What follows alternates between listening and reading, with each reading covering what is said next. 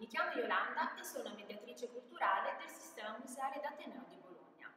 Oggi ci troviamo nel museo di Palazzo Poggi, un palazzo del Cinquecento appartenuto alla famiglia Poggi. Il proprietario era il cardinale Giovanni Poggi, che decise all'età del Cinquecento di ristrutturare e decorare il palazzo per farlo diventare la sua abitazione. Nel 1711 questo palazzo diventa l'Istituto delle Scienze volere di Luigi Ferdinando Marsili e l'aiuto del Senato bolognese. Qual era il suo intento? Cosa intendeva per Istituto delle Scienze? Aveva un progetto ambizioso e originale, voleva trasformare le antiche stanze di questo palazzo in veri e propri laboratori scientifici, dove si poteva sperimentare, osservare con i propri occhi se quello che si studiava era vero oppure falso e vedremo come aspetto sarà molto importante nel nostro percorso e lo faremo andando a visitare le sale della scuola di ostetricia, le cere anatomiche di Ercole Lelli e dei coniugi Anna Morandi e Giovanni Manzolini.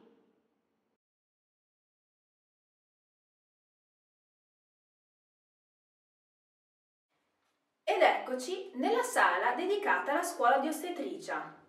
Tutta la collezione, che risale al Settecento, si deve al lavoro del medico Giovanni Antonio Galli, professore di chirurgia presso l'Università di Bologna.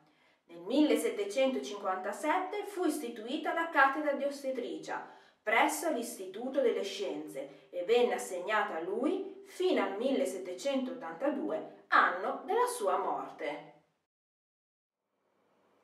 Galli aveva capito l'importanza di studiare questa disciplina anche se c'era una certa chiusura mentale da parte degli altri medici, perché la ritenevano un affare di donna e quindi come tale era una disciplina autonoma, separata quindi dalla chirurgia. A causa di questa ignoranza, purtroppo, morivano tante donne e, molti bambini. Per fortuna Galli fu sensibile a questa situazione e decise di insegnare alle levatrici come comportarsi durante un parto, soprattutto in situazioni difficili. Pensate che inizialmente queste lezioni venivano svolte a casa sua. Ma chi erano queste levatrici? Le levatrici erano delle semplici donne che non avevano avuto la possibilità di studiare e quindi non avevano un titolo di studio di base e non sapevano né leggere né scrivere. Ma pensate che nonostante questo erano le uniche che potevano assistere al parto. Galli aveva capito che per insegnare in modo efficace e soprattutto veloce a queste levatrici come comportarsi durante un parto era sicuramente l'utilizzo delle immagini. Ed ecco perché ha fatto realizzare tutti questi uteri in terracotta in tutte le varie posizioni difficili. E qui ne abbiamo alcuni esempi, come il cordone umbilicale attaccato al collo oppure in posizioni podaliche. In questo modo le levatrici potevano osservare ma soprattutto toccare, capire come era posizionato il bambino per poi successivamente riuscire a fare quelle giuste manovre per girare il bambino nella posizione giusta. Ma perché era così importante poter toccare questi utili in terracotta? Dobbiamo ricordarci che nel Settecento non esistevano le ecografie, quindi l'unico metodo per poter capire come era posizionato il bambino era l'utilizzo delle mani e sempre con le mani appunto bisognava compiere le giuste manovre per girarlo nella posizione giusta.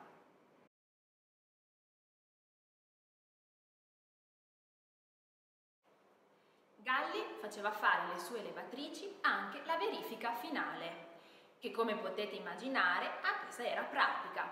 Ecco qua la verifica finale. Quello che vedete è un utero in vetro, dove all'interno Galli inseriva un bambolotto di pezza in una delle posizioni difficili. Successivamente la levatrice veniva bendata, perché se vi ricordate abbiamo detto che nel Settecento le ecografie non esistevano.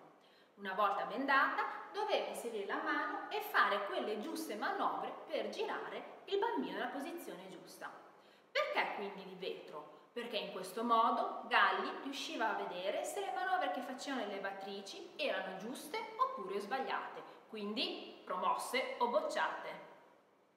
La scelta della terracotta come materiale era dovuta al fatto che questo materiale, oltre a essere meno costoso, risultava rispetto alla cera più resistente, più manipolabile e quindi didatticamente più efficace. Vi vorrei mostrare anche un feto nella posizione corretta e in una posizione difficile.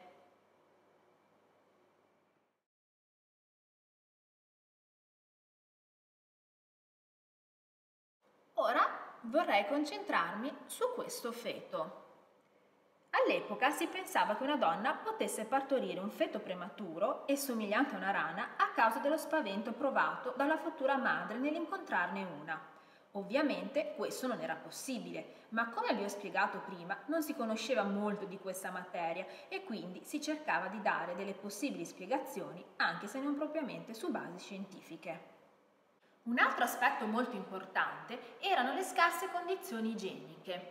Purtroppo capitava che le donne morivano durante il parto per, a causa delle infezioni e purtroppo non c'erano gli antibiotici come li conosciamo noi oggi. Pensate che solo dopo un secolo un medico ungherese si accorse che lavandosi semplicemente le mani certi batteri si potevano sconfiggere. Oggi più che mai ci chiedono questo cioè di lavarci frequentemente le mani, proprio per salvaguardare noi e aiutare anche gli altri.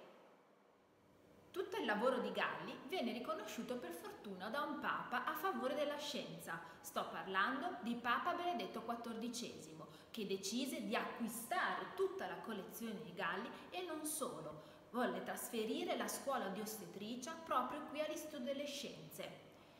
Bene, con questo abbiamo terminato la nostra prima parte. Se vi è piaciuto vi invitiamo a seguire anche la seconda parte che sarà dedicata alle cere anatomiche di Ercole Lelli.